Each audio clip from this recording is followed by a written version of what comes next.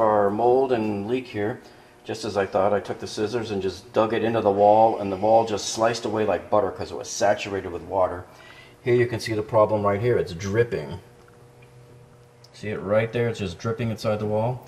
The reason why this is dripping is this is the, uh, I forget the name, I think it's called polypropylene or something, but it's, everybody knows it as the gray plastic piping, which is illegal to use now.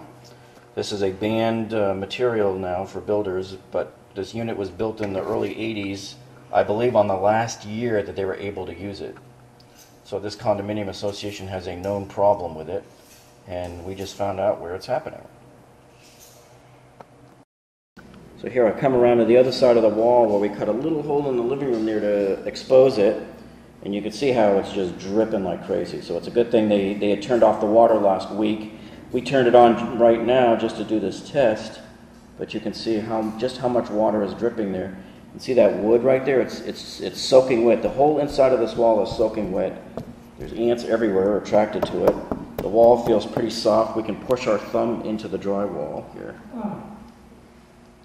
Now on the living room floor along the baseboards, you can see there's mold. It's small. It's not like a whole lot.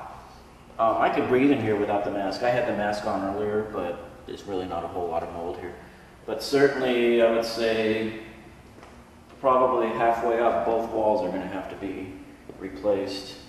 And you can see, now we had previous water damage in here on these floors. Okay, and, but now you can see the mold is growing. That wasn't even here a couple of months ago.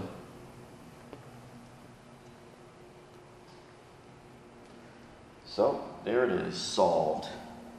Probably all this tubing is going to have to be pulled out of here and replaced with PVC. What I don't understand is why builders in their right minds ever use this garbage to begin with. It's just stupidity. How much cheaper is this stuff than PVC? I mean, really, folks just to save a buck.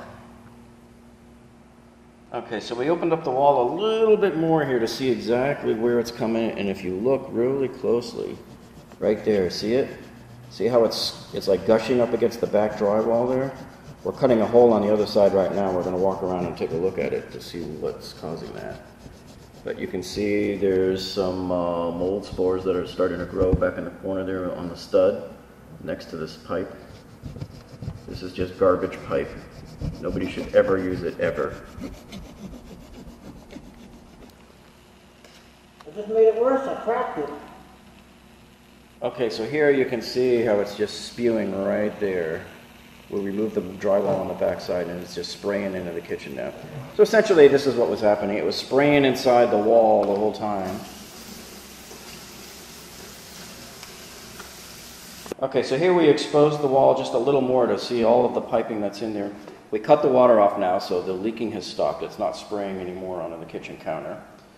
And, but the good news is, is all of this piping is contained in this wall, so the kitchen is there. And then there's the vertical components that go upstairs to the bathrooms and showers.